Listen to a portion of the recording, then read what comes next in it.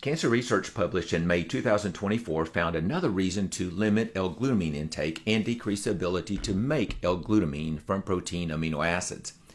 This is a promising development, and while the drug used in the study is not yet available, ongoing research is exploring ways to decrease the body's production of L-glutamine.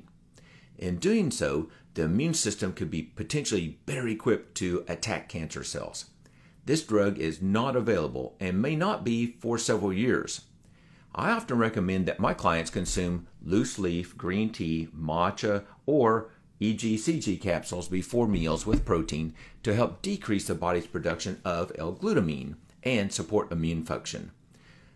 It's important to note that while EGCG can be beneficial, excessive amounts can be toxic to the liver. Therefore, it's crucial to monitor liver enzymes in the blood and practice moderation when incorporating EGCG into your diet.